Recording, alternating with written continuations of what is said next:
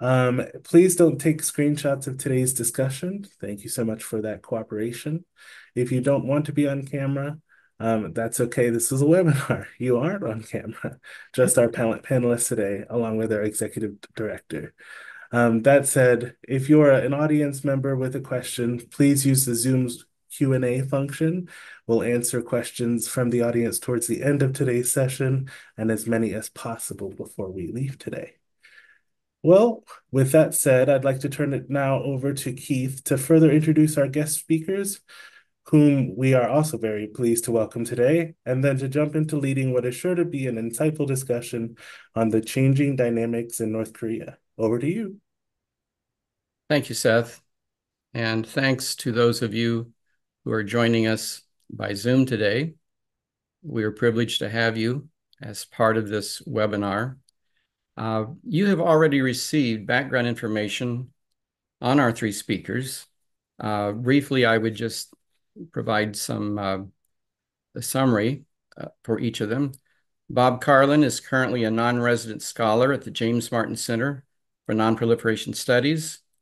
From both in and out of government, he has been following North Korea since 1974, and he's made over 30 trips to the country. Bob has served as senior policy advisor at the Korean Peninsula Energy Development Organization. He has led numerous delegations to the North, and he's observed developments in the country during long trips. He, um, from 1982 to 2002, he was chief of the Northeast Asia Division in the Bureau of Intelligence and Research at the U.S. Department of State, among many other aspects of his career. Suzanne DiMaggio is a senior fellow at the Carnegie Endowment for International Peace, where she focuses on U.S. foreign policy toward the Middle East and Asia. Suzanne is one of the foremost experts and practitioners of diplomatic dialogues with countries that have limited or no official relations with the United States, especially Iran and North Korea. For over two decades, she has led Track 1.5 and track two conversations to help policymakers identify pathways for diplomatic progress on a range of issues, including regional security, nonproliferation, conflict pre prevention, management, and bilateral relations, among others. Ambassador Joseph Yun uh, recently, somewhat recently, uh, finished a role as U.S. Special Presidential Envoy for compact negotiations he is a 33-year career diplomat. His previous assignments include U.S. Special Representative for North Korea Policy. He was U.S. Ambassador to Malaysia and Principal Deputy Assistant Secretary in the State Department Bureau of East Asian and Pacific Affairs. There are few Americans that have actually interacted at length with North Koreans. Our panelists today are three of a handful of individuals who have connected with a cross-section of North Korean officials, including the present foreign minister, uh, Choe Son Hui. So for me personally, for NCNK, it's a privilege uh, to have them with us today. So as we get into the topic of the program, the there are a number of changes going on within North Korea. Within North Korea, there are there's a range of indicators. Some have been tied to uh, the Putin Kim embrace. There is increasing changes of approach on the part of Kim Jong Un related to the South Korean equation on the peninsula. What, is, what does all of this mean? And what's fascinating is that above and beyond some of the more obvious actions underway by North Korea, what we don't know everything. And but but there are going to be ramifications of these internal dynamics, these changes, as relates to Kim's perception of North Korea's role in Northeast Asia, its role in the world, and its policy toward the United States. So we're going to begin uh, with Bob Carlin, sort of setting the stage for all of this.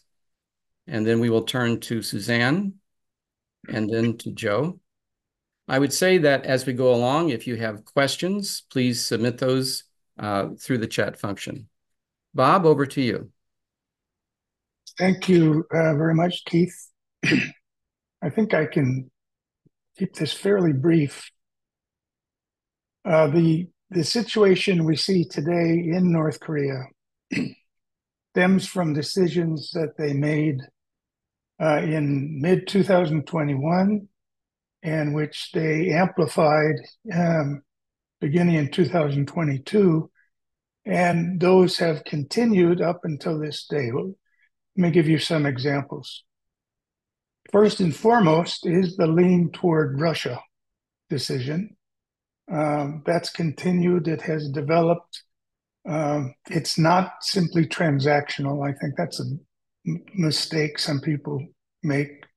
Uh, the North Koreans don't assume that it will last for eternity. Nevertheless, uh, has it gives every indication that it's going to continue for uh, quite some time. That's reflected in the level and type of exchanges that they've had. Um, Russian military and high level flights to North Korea, which are should be quite uh, worrisome, it seems to me, and uh, a a continuous flow of exchanges, not just at the highest level, but at uh, more broadly at the lower levels, that suggests that they're creating and that underpinning to continue this relationship into the future. The major decisions that were made in 2021, uh, 2022, uh, started with a hard and a complete break, total and complete break with the previous policy of seeking relations with the United States. And um, soon thereafter, there we began to see a drumbeat of, or hear a drumbeat of calls for war preparations. Those came uh, very significantly from Kim Jong Un himself, uh, continued through 2023 into 2024. These are not normal. This is not normal um, tough language. This is very uh, specific, and it's backed up by Kim's frequent visits to defense um, manufacturing factories, by the higher profile he gave to the what they call the Second Economic Committee, which is in charge of um, defense production and used to be very, very well hidden from public eye. Um, Kim himself has put an emphasis on the development, testing, and deployment of new weapon systems. By contrast, he almost never appears uh, at civilian economic sites. I won't say never, but if you look at the balance, it's very much uh, tilted toward this um, defense production. Moreover, quite recently, there has been a very heavy emphasis on nuclear weapons. It was always, or it was there for a long time, sort of droning along the bottom, but now it's it's um, near the top of the list of things that Kim talks about. Overall, the North Koreans have made clear that they are aligned, they think they are aligned with broader forces opposed to the United States. And that means, in their mind, they have no reason to ease pressure on the United States. Quite the opposite. Their goal is to increase that pressure in every way that they can. And I'm afraid Kim might think that he has the wind at his back. His his economy is not any worse and probably a little bit better. His harvests have been good for the past couple of years. Uh, and as he looks out and he sees the United States, he sees a country that is in considerable turmoil internally and, in his view, weakened internationally. So, uh, drawing it all together, it seems to me it's a quite a perilous moment given uh, what seems to be the North Korean efforts to uh, in, increase pressures on the United States, isolate the South Koreans, and um, tie up this relationship with the Russians, which could lead to um, increase tensions in the Indo-Pacific. Uh, let me leave it there. You know, pass it to Suzanne. Thank you, Bob, and thanks to Keith and NCNK for bringing us together today. Um, I think it's clear now that for decades, uh, incoming American administrations have been faced with the vexing challenge of how to deal with North Korea. Uh, and this will certainly be the case for the next US administration, no matter who is elected president in four weeks. And as Bob outlined, the picture has become increasingly more complex, uh, more dangerous. The next administration is going to encounter a North Korea that is increasingly emboldened, confident, and likely to be more comfortable taking risks. I think simply put, the next US president will face a more formidable North Korea than her predecessors. I should also say, perhaps maybe his predecessors. Um, the go to formula for some time now of applying uh, international sanctions combined with unilateral steps to exert pressure on Pyongyang into negotiations focused on denuclearization harkens back to a bygone era. Uh, moreover, the current approach is based on assumptions that are not holding up well, or they have already crumbled. Uh, these new and still evolving realities place managing North Korea on a more daunting trajectory that requires adjustments in approach. So when Joe Biden came to office in 2021, his administration identified engaging in direct talks with North Korean officials to achieve complete denuclearization as the key goal. And here we are now in the final months of his presidency, and his administration has made no visible progress towards this objective. What the administration has done is to focus on reinforcing the U.S. alliance structure in the Indo Pacific strengthening U.S. alliance partnerships with South Korea and Japan through extended deterrence, uh, the Washington Declaration, the U.S. ROK uh, Nuclear Consultative Group, including uh, nuclear and strategic planning. But still, the missing piece of the puzzle remains direct dialogue with North Korea. Uh, deterrence alone won't secure peace on North Korea on the Korean Peninsula. That is clear. I think, in fact, that some ways uh, the administration's approach is continuing, is contributing to destabilization. Without a diplomatic strategy and escalatory cycle of measures met by countermeasures, met by countermeasures, will only continue. And without a political agreement or understanding, a vicious cycle remains in play, heightening the risk of conflict and the risk of miscalculations and accidents. So, what's needed, I think, is a pragmatic diplomatic strategy in parallel to the deterrence and coercive policies that are currently in place uh, that aims to persuade Pyongyang that talks with the United States could still result in attractive benefits. So, some thoughts on what that, um, let's call it an updated approach, might look like. First, process. two models come to mind that I think we should be thinking about. One potential model is the stabilization talks with China that are currently being pursued by the Biden administration. Uh, this comparison would likely appeal to Kim's ego. The emphasis is on opening lines of high level communication to reduce the risk of confrontation. The goal is to stabilize ties. Um, something like this would have to roll out as a process initiated by senior level officials, most likely having to lead to a leader to leader engagement. Another model I think that's worth thinking about is to emulate indirect US Iran talks, which have been facilitated by a third party. In this case, it was Oman, is Oman. It began in 2023 with the focus on de escalation it's also served as a crisis management channel, which these days um, is very valuable. It's still in play despite current regional hostilities, and it could yet provide a roadmap to direct talks. In terms of priorities, if we can get to a dialogue with the North Koreans, and I recognize that's a big if, we must move the focus away from denuclearization With an arms race in Northeast Asia, including Beijing's large-scale expansion of its nuclear arsenal, the region is in fact moving toward a nuclear buildup, not denuclearization.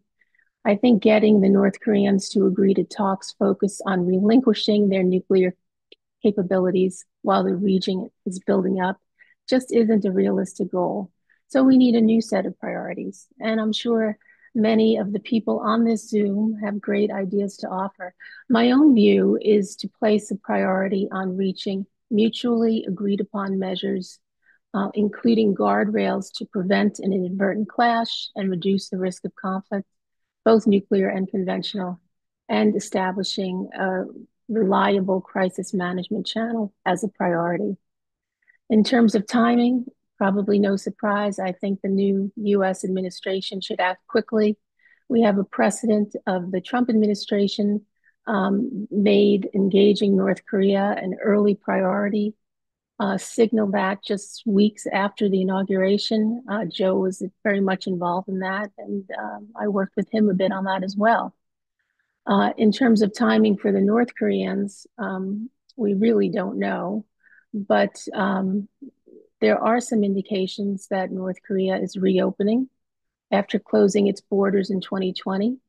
Um, they recently invited professors uh, from Europe and the US to teach at the Pyongyang University of Science and Technology.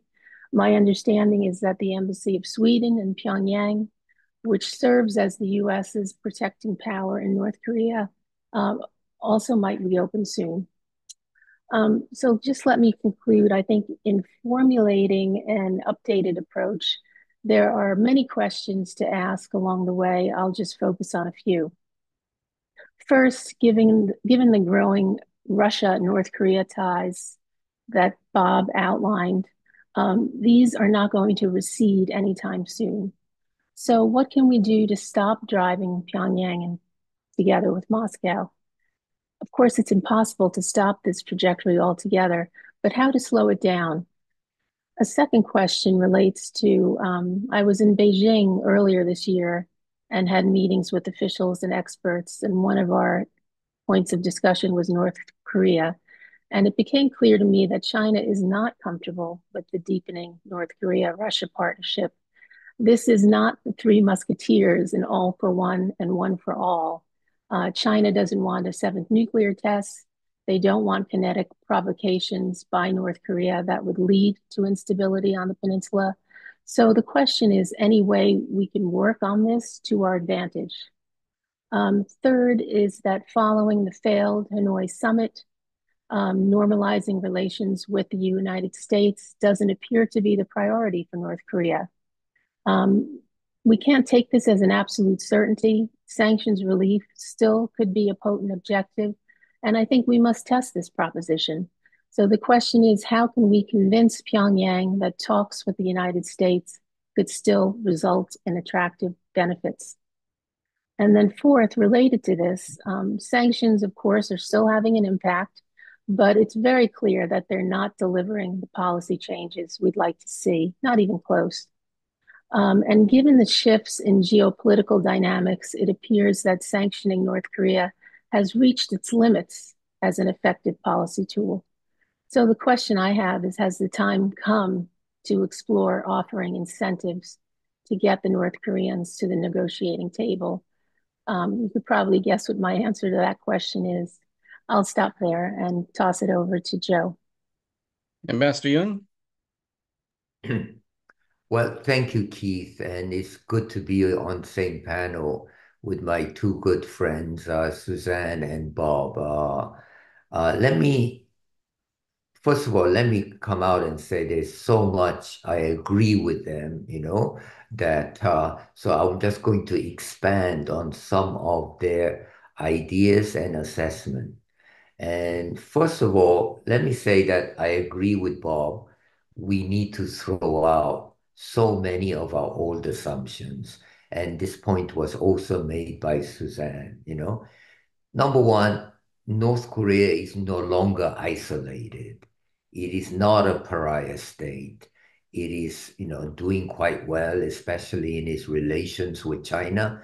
and much better in its relations with Russia. So get rid of the idea that, you know, it is isolated state.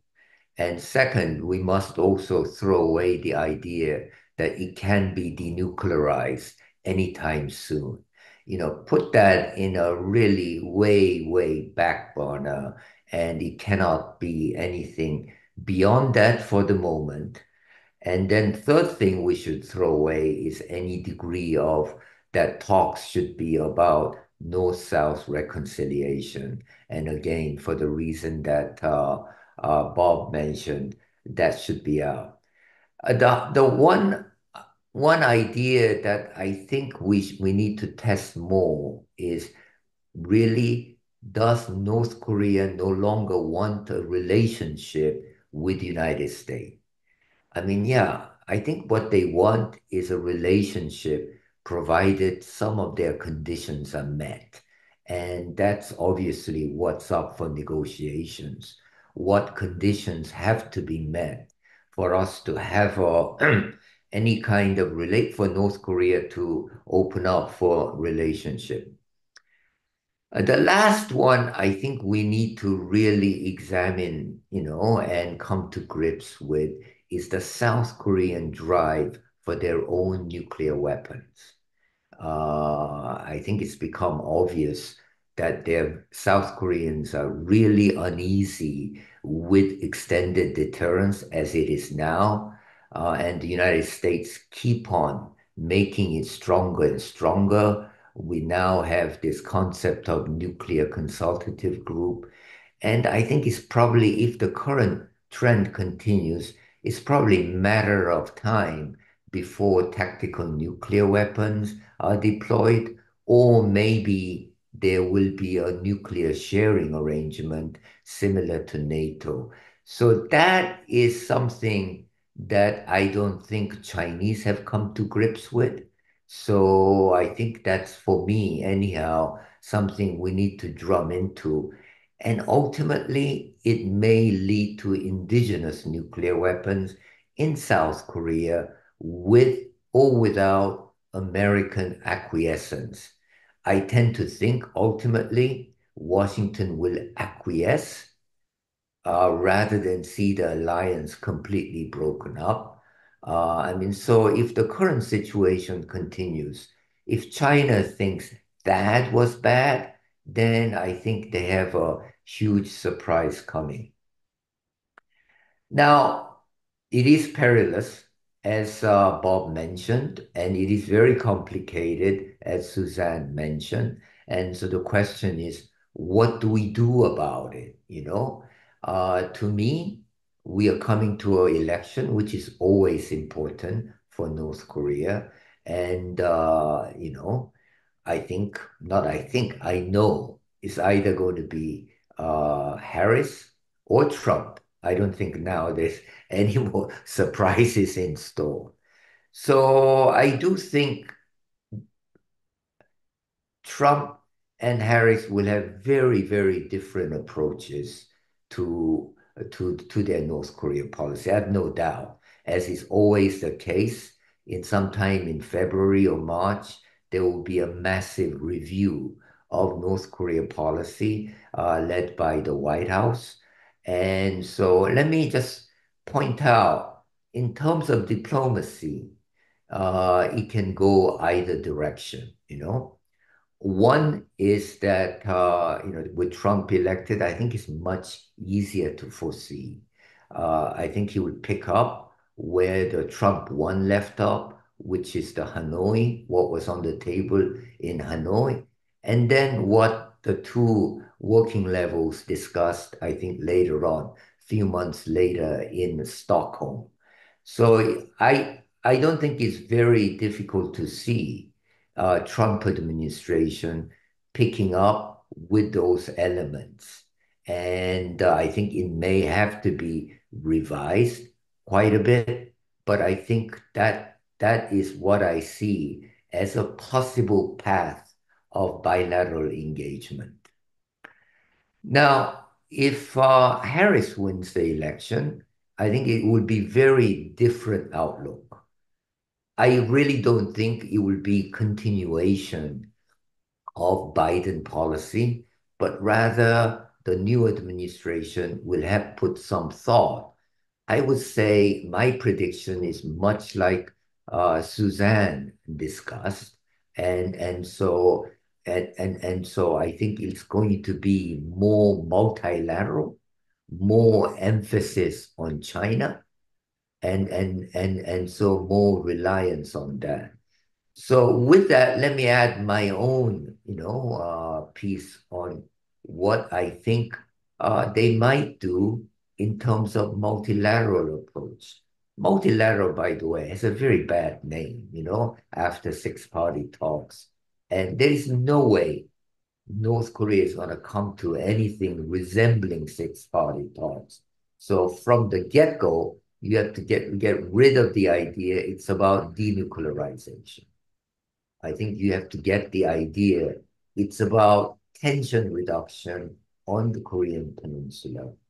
Tension reduction plus how to assure South Korea enough that they don't pursue nuclear weapons.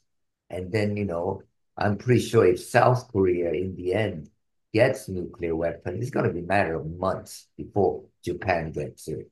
So this point has to be drummed in into China.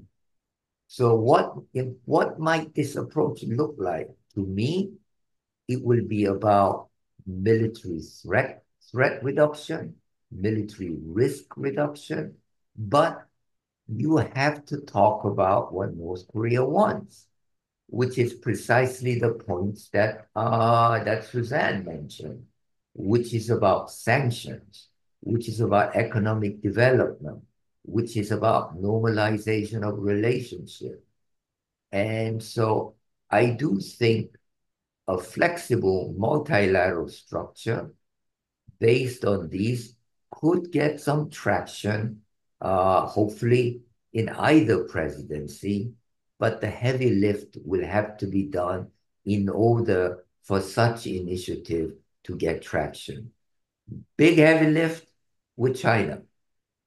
Uh, I do think that Suzanne's idea of having an early, just talks, focus around Korean Peninsula between Beijing and Washington is a good one.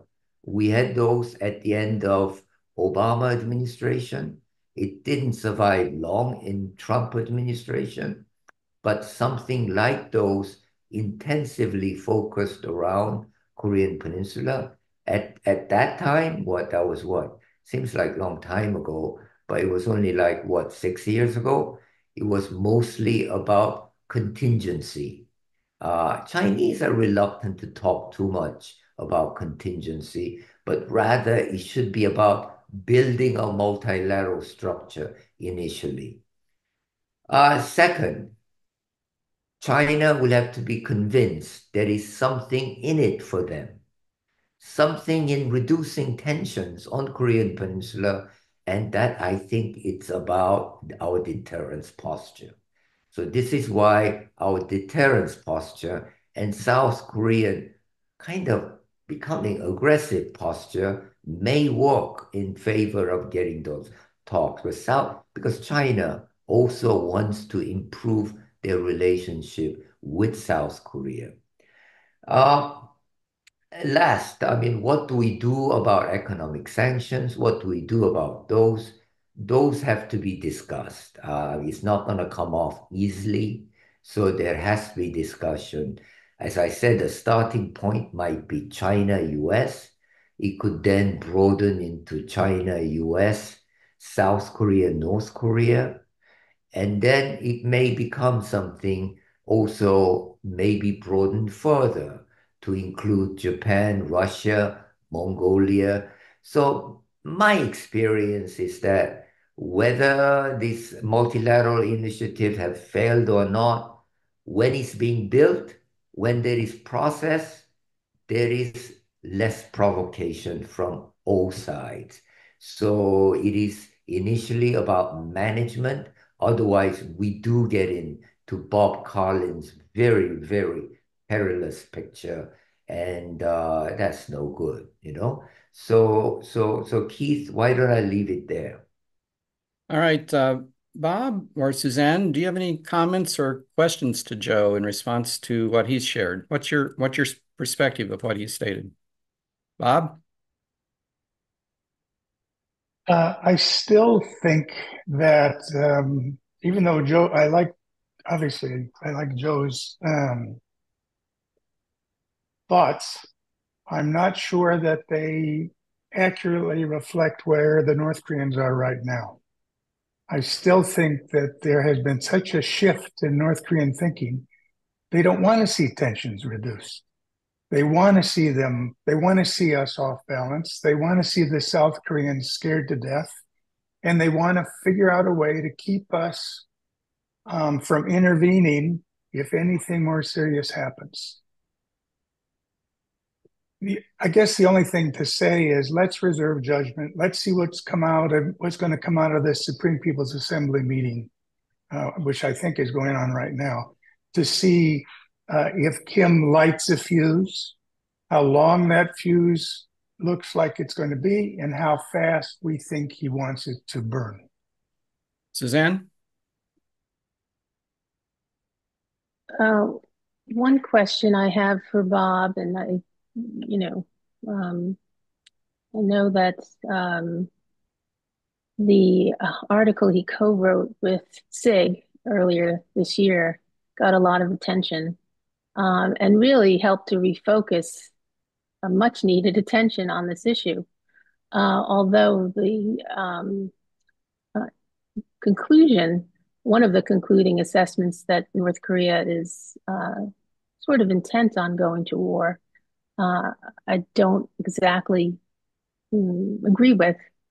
But even still, I guess one question I have for you, Bob, is um, is there any chance that the North Koreans are still interested in some sort of sanctions relief, some sort of economic benefit?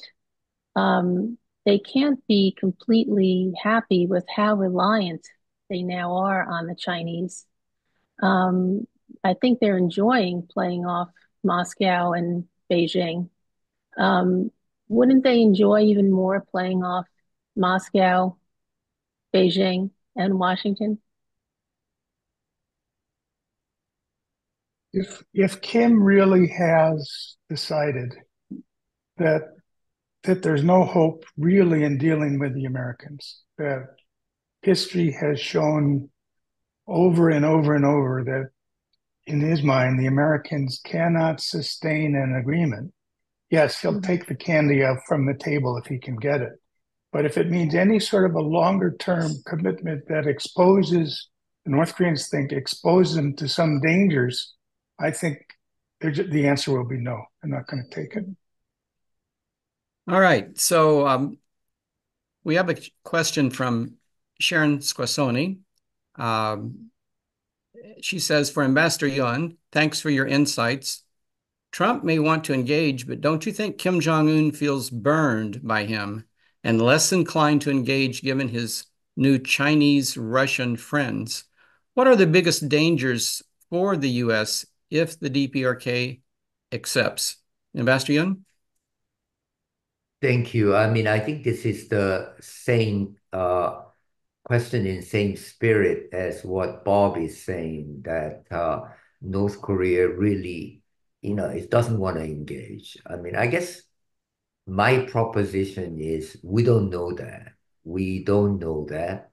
And uh, and and so to assume they don't want to engage and not engage, I think it's uh, it's giving in too early there are a number of drivers to what happens on the Korean Peninsula. Pyongyang is a very powerful driver, but there are other drivers, namely South Korea, China, and US. And so these are all related drivers as well as somewhat independent. So I think we need to get them working together. And uh, and and and and and so the goal is not to isolate North Korea as it was in 2017. I mean, if you remember in 2017, it was a massive tactics to isolate North Korea, in which China actually cooperated by and large. I don't think China will cooperate if the goal is to isolate North Korea, but rather the goal is to reduce tensions uh, for China, for South Korea, and for others, and there will have to be benefit for North Korea. How hard is it to change the mind of North Korea? Again, that's the proposition we need to we need to test. All right, we have a question from Jim Schoff. I believe it's directed uh, to Suzanne uh, relative to your comments on sanctions. Jim says, North Korea is not as isolated or pressured by sanctions as we would like, but it still raises costs and weakens North Korea to some degree. If the price of tension reduction is sanctions relief, wouldn't this ultimately strengthen North Korea over time? And that would inevitably lead to resumption of tensions and North Korea choosing except with a stronger adversary. It would also put pressure on us to keep upgrading deterrence as North Korea strengthens. What price is too high to pay for a new North Korea policy approach? Suzanne? Uh, well, let me thank Jim for that question. It's been a while. Hi, Jim. So I think, um, you know, I would begin by saying that as a result of the closer alignment between Russia, China, and North Korea, obviously the ability to enforce sanctions against North Korea is already collapsing.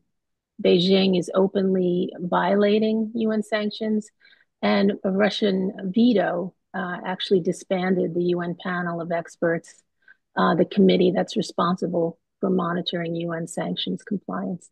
So, in a lot of ways, sanctions have already lo- lost a bit of their bite. Um, and uh, as Bob said, uh, North Korea is no longer as isolated. But even still, there's still a heck of a lot more sanctions left against North Korea um, that could become unlocked if uh, some political understanding was reached with the United States. Um, you know, North Korea is an adversary. It has been for quite a while. It likely will remain an adversary for some time.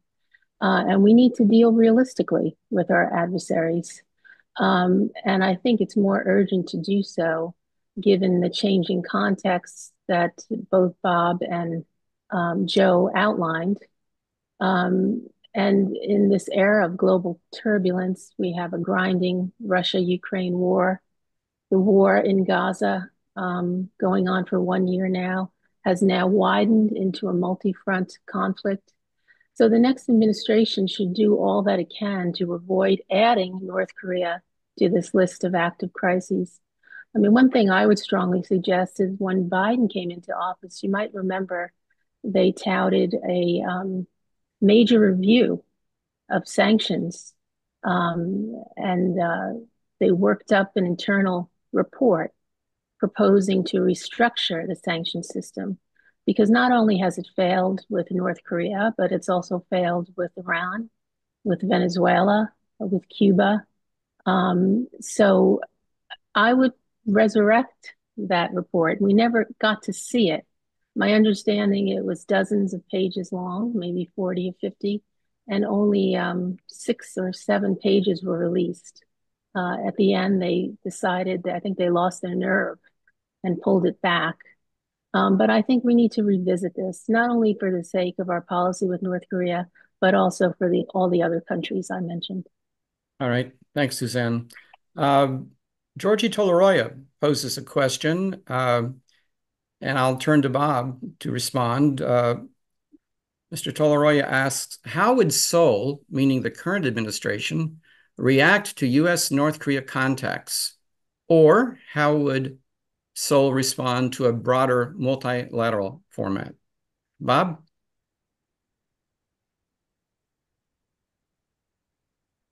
Can I pass on that? I don't, I can't uh, you may imagine.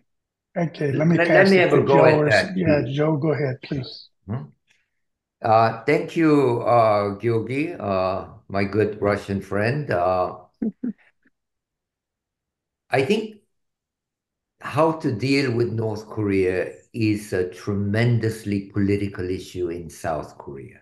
You know, people almost define their political color as how to deal with North Korea, which is very unlike the US, where I doubt more than five votes, uh, you know, five people will vote depending on how Harris or or or or, or Trump defines how they deal with North Korea. Under the current administration, I doubt this idea will get a real warm reception. The idea of approaching North Korea through multilateral framework. Uh, however, there are political realities, which is that any approach to North Korea gets sizable South Korean public support. So I think uh, South Korea will really have no choice if there are any initiatives to uh, to to talk with North Korea, but to join it. I think that uh, uh, joining it would be second worst thing for them at, in, in, the current administration. The worst thing would be getting left out. All right. Thank you. Uh, thank you, Joe. Bob Carlin, um, we let you off on that one, but now we're going to come back to you. Uh, Brad Babson asks, how does the next party Congress play in this process and the dual priorities of military security and economic development in their national practical strategy? Brad, do you mean the next party Congress or do you mean the Supreme People's Assembly? Just go ahead and respond, Bob, because he's well, okay. He's okay. I have no idea about what they're going to do with the party Congress when, for sure, uh, what the world will look like then. Um, Kim is never going to simply give up on some sort of economic development. Um, that would be crazy, and he's not crazy. However, the relative uh, emphasis they put on um, assets uh, not just money, but technology and um, human assets on the defense uh, sphere is so clearly uh, uh, tilted toward defense right now. I think there might be there might be some signs of a little bit of pushback within the uh, leadership, and if that's true, um, we might uh, we need to follow that closely because it wouldn't be the first time people have said we're spending too much on the military. Let's switch it. Will Kim listen to that? Could that be hooked into something of, along the lines that Suzanne has raised in terms of benefits? Seems to me that's that's a possibility. Uh, but f- for now, and as far as far as I can see, the foreseeable future, which is, you know, the next two weeks, um, I think they're going to stick with military development, uh, and um, and that's going to have consequences for their policy towards South Korea, the U.S., and their hookup with the Russians. Let me add something about China. Kim Il Sung, um, Kim Jong Un just sent two messages to the Chinese a few weeks ago, and then uh, a few days ago. They are so cold incredibly cold. And things don't get that bad at that level for no reason.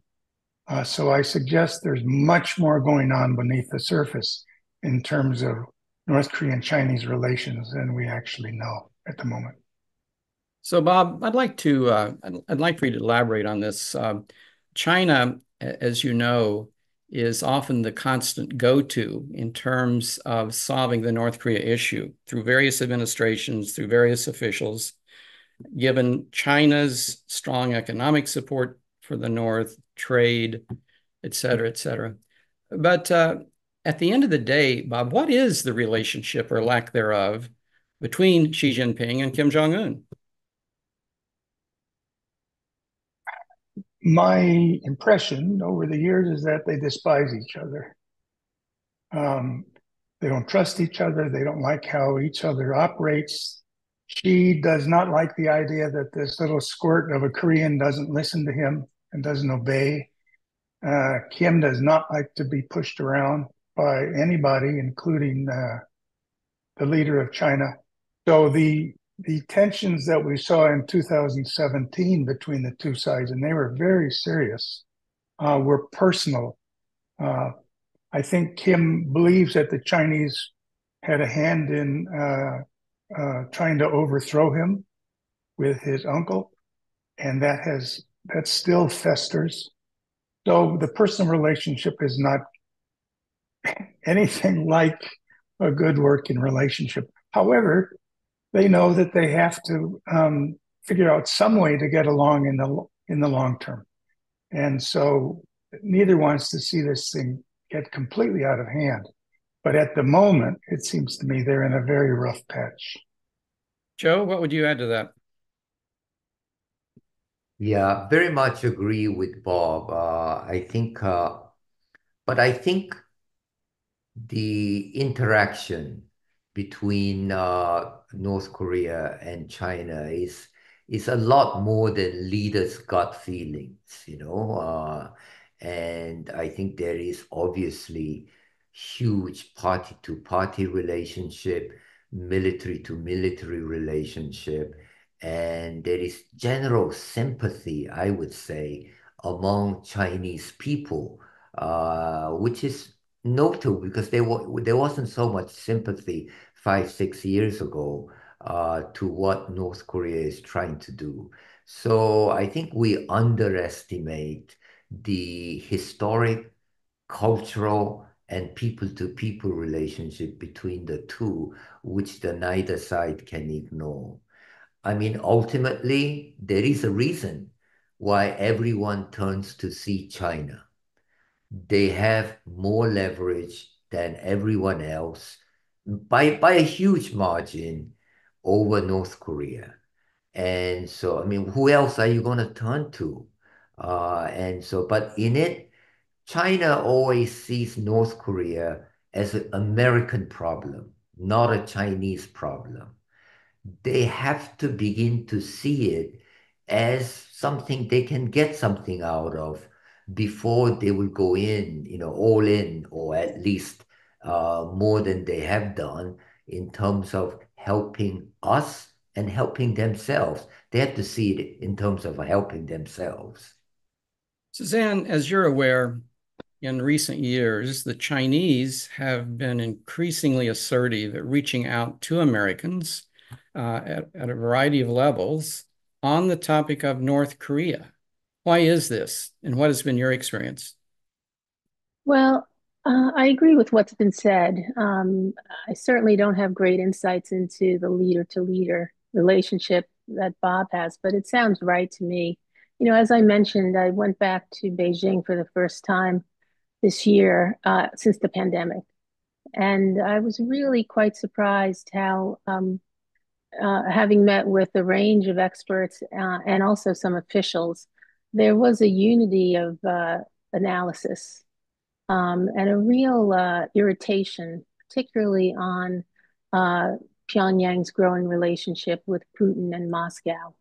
Um, and, uh, you know, I, I, think it goes beyond that too, but that seemed to be the major irritant of the day. So I think there is something to, um, for us, when we think about adjusting our policy, how do we um, play off those tensions? Um, you know, how do we uh, make a relationship with the United States appealing to the uh, North Koreans in that context?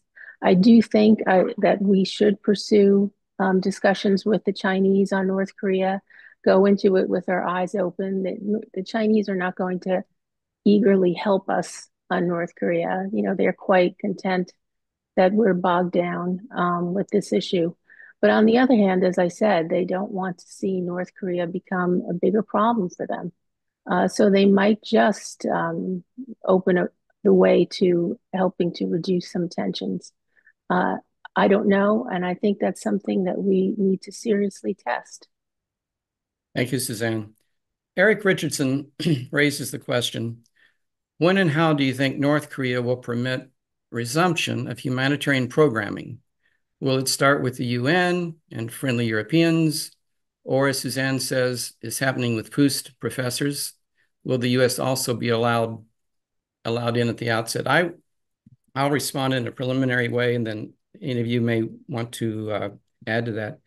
Uh, presently, for the most part, on the humanitarian front, it seems that uh, North Korea is, uh, and this goes back to Bob's comment about the break of uh, anything U.S. related, 2022, and even before that. Uh, and the humanitarian community is caught up in that. Uh, the North Koreans have been unwilling to allow U.S. NGOs who have who have years of experience actually working on the ground in North Korea, and North Koreans have continued to say no to them, uh, with some exception. Uh, the North Koreans now are beginning to reach out to Korean American NGOs, uh, suggesting ways in which they may, in fact, um, uh, be able to, re to re-enter. I suspect that before U.S. Uh, NGOs across the board, those who have a background in the North, I suspect that before they are allowed to re-enter, uh, this will all be tied to the overall U.S. DPRK relationship. It may be tied to the election. Um, the replacement for Ambassador Pak Sung-il in New York is Counselor Joe, Counselor Joe Chong-jol.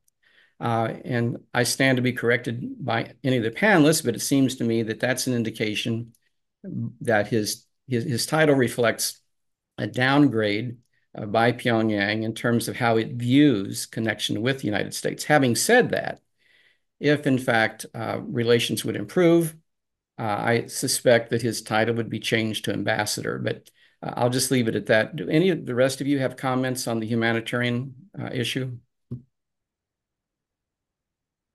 All right. Um, let me, uh, let's go back to Trump and um, the possibility of a Trump presidency came up earlier and how that might fit into the larger equation of uh, US DPRK relations.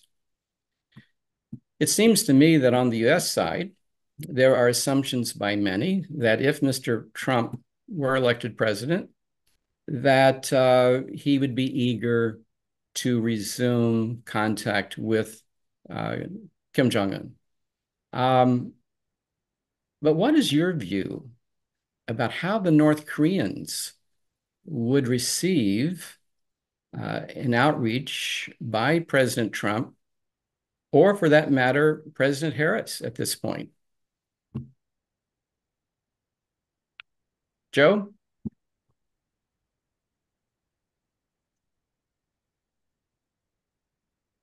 So again, we are testing the hypothesis that how does North Korea still want to do have anything to do with the United States or not, you know? And again, I think uh, I, I differ a tiny bit with Bob, and I do think that their goal is to have a better, if not normal, political relationship with the United States, provided their conditions are met. I think they will have two key conditions, which is that their nuclear weapons are not degraded, and second, their relationship with South is no longer one of reconciliation leading to unification, but as separate states. Enemy states, yes, but as separate states. So that that that would be my view that they are not giving up, you know, or they or or or they will not they don't want anything to do with the US forever and ever. All right. So before I'm sorry, Suzanne, go ahead. Just just quickly, I wanted to respond to that question, Keith. I mean, I would ask, how do we know that Trump has not maintained contact with Kim Jong Un during these years? I mean, we just learned today through uh, the release of Bob Woodward's book that he's been keeping in touch with Putin over these years. They've had numerous uh, um, interactions. You know, I think it actually might be harder for Trump than uh, Harris. Harris is a blank slate when it comes to North Korea. Trump, uh, let's not forget, humiliated Kim Jong Un uh, at the Hanoi summit when uh, you know he left Kim at the table, and then Kim had to travel 60 hours by train back home empty-handed. So it may be actually counterintuitive. Harris might have an easier time than Trump. All right. We now have a question. We have two remaining questions uh, before we conclude. One is from Ambassador Peter Semneby. The question is, do you think the North Koreans have any particular thought behind inviting the Swedish embassy to return? Bob or Joe, comments?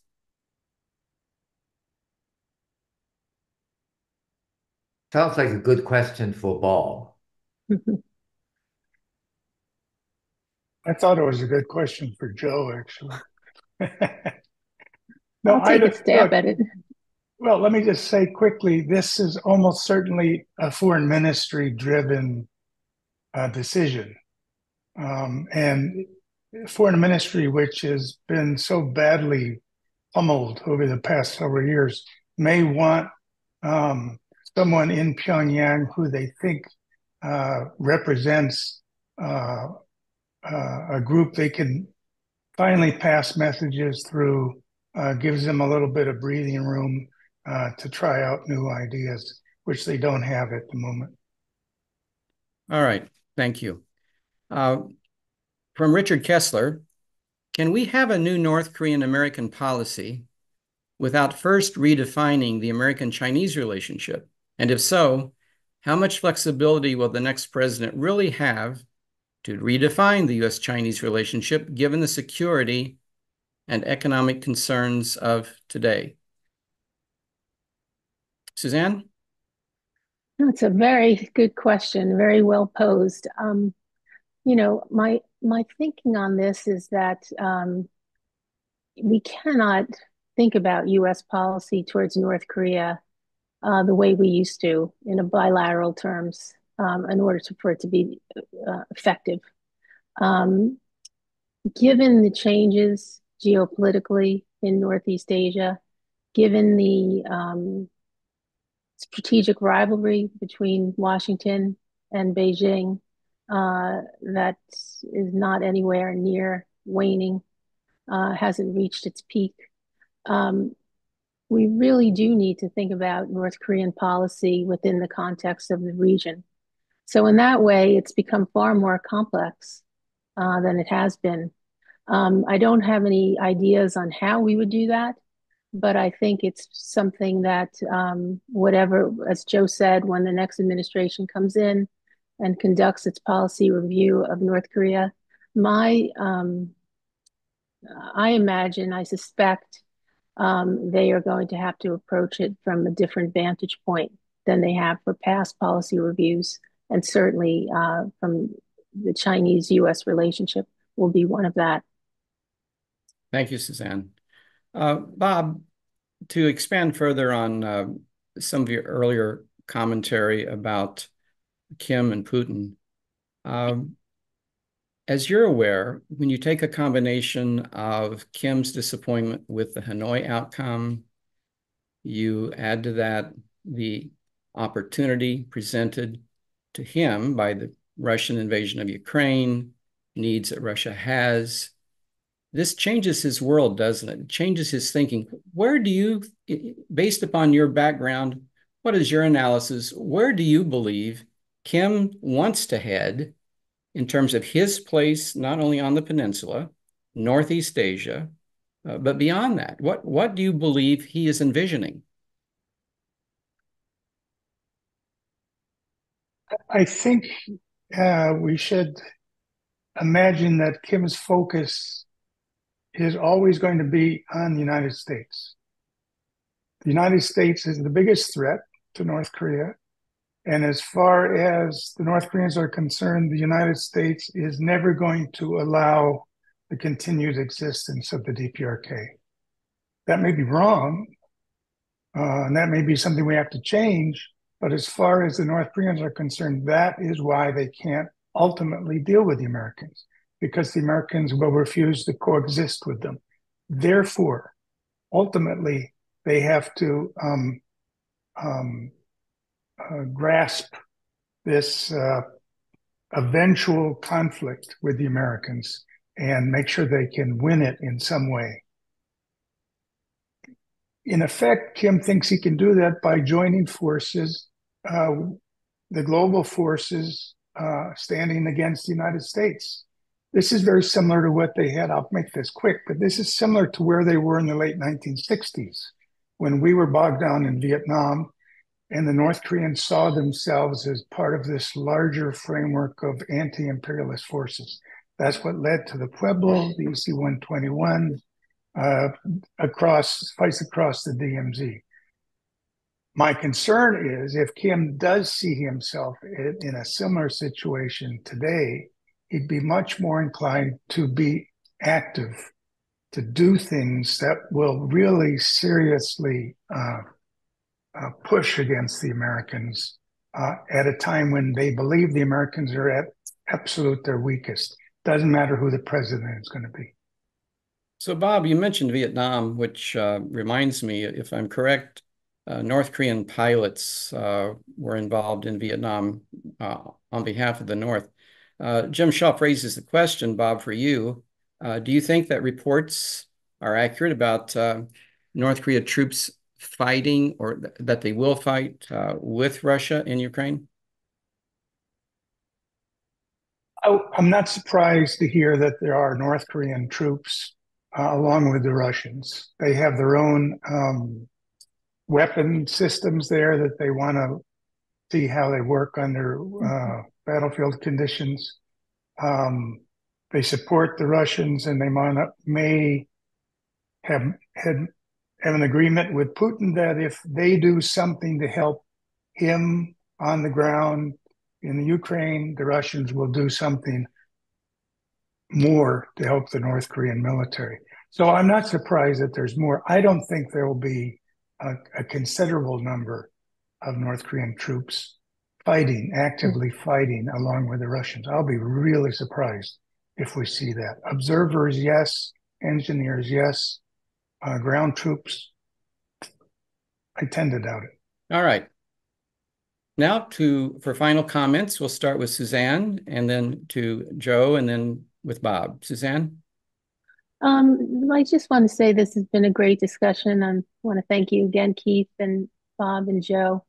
Um, I mean, I would just end very briefly is a lot of times when I talk about um, some of the ideas I presented in my opening remarks, I'm really hit hard with um, naysayers. Say, we've already tried that. Um, there's nothing new under the sun when it comes to North Korea. But I think based on the presentations we've heard today, um, the context is quite different. In a lot of ways, this is a new North Korea. And I should also mention this is a new United States. I mean, uh, the world is far more multipolar. Uh, we're not calling the shots uh, as we once were in the region. Um, and we have to face that rather humbly.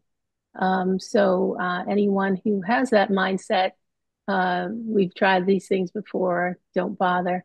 I would really strongly push back on it, on that, because it would be thinking that way is really the death of diplomacy. Joe, final comments? Uh, I, I, guess uh, rather than a final comment, final point is uh, what Bob talked about. U.S. Uh, being the principal concern of North Korea. I think that too has changed. It's now South Korea that is the principal concern of North Korea. You know, for a long time, both sides, of course, advocated unification, and they both thought their idea of absorption by one or the other, and for North Korea, under North Korean leadership, uh, that would be viable. And I think really the uh, Kim Jong Un coming out and said, saying he no longer is aiming for unification is an admission that absorption by North Korea is not possible at all. And, uh, and, and, and so I think what he fears most is not United States, but absorption by South Korea, which international community uh, sees as inevitable. So his strategy is now to essentially put a wall around the two Koreas where there is no longer, he believes, possibility of absorption. And so that really changes the strategic dynamics. I believe that in addition to US alliances changes strategic dimensions in this region, which is what we have to acknowledge and what China has to acknowledge in terms of what is in it for them. So, which is why I think we can now build a stronger argument, getting Chinese cooperation, and also for China to see this as a way to get what they want ultimately, which is to have a path to improve relations with the United States. Thanks very much, everyone. Bob?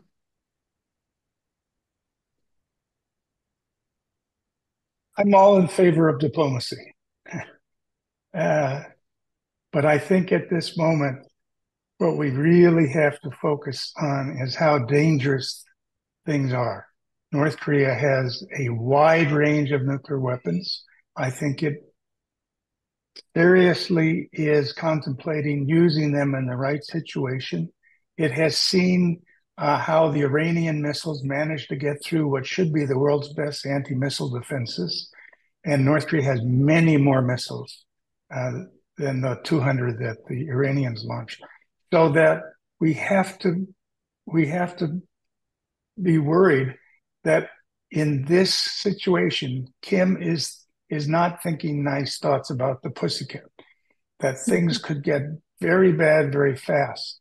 And although the longer range ideas that have been discussed are important, it's really important that we have the fire trucks ready to put out a fire as quickly as we can. Well, I want to thank each of you for the depth and the substance based upon your unique and individual experiences that you bring to this larger topic of North Korea. Thank you for what each of you have done in the past, and I hope that uh, in the days ahead that each of you continue uh, to contribute uh, to the development of U.S. policy. So thank you for being here today. I'd like to once again thank my colleague, Seth Joyner, uh, for his assistance in, in setting up this program. This program will be posted uh, on YouTube uh, on our channel. Um, so for now, thank you to the audience and thanks again to our panelists for what's been a great discussion. Have a good day. Thank you.